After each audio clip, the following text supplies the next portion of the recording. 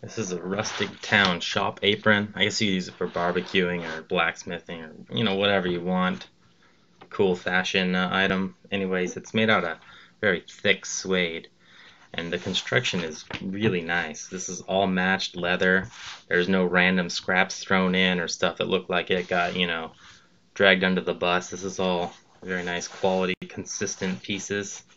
You'll see these hems are all glued and then stitched all around. Everything is well stitched. The pockets here and the corners, they put enough effort in here just to stitch over this a whole bunch of times so you're not going to have the corner of your pockets tearing because this is a tool, it's going to get used, so you don't want to put stuff in your pockets. So the pockets are good. The rivets definitely help here. And they did stitch around the fabric and riveted, so it's super reinforced.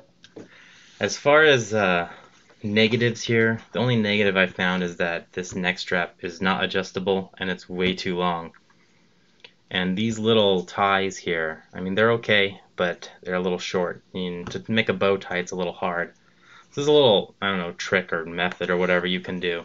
You just tie these in a loop around the neck. So when you put this on, instead of it sitting really low down below your nipples, it pulls it up to your collarbone. Also, you don't have to make a tie anymore. You just got to slip this over your head. Me adjust my camera here. Slip this over your head. And then you just got to put your arms through the sides there. And it's on. Don't really have to adjust it, it will stay in place. So the pockets are all easy to reach.